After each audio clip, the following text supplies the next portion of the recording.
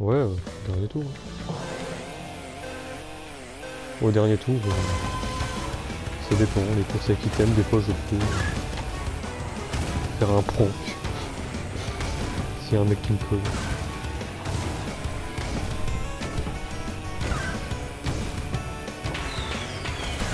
Non mais une fois que ça peut que tu feras chaque fois.